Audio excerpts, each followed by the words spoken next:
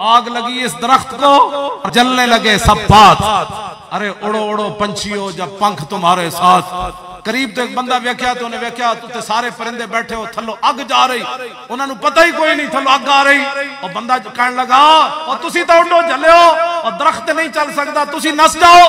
अगो परिंदे के क्या उन्हें कहा, मेवा खादा इस दरख्त दा, और नाश किए सब बात।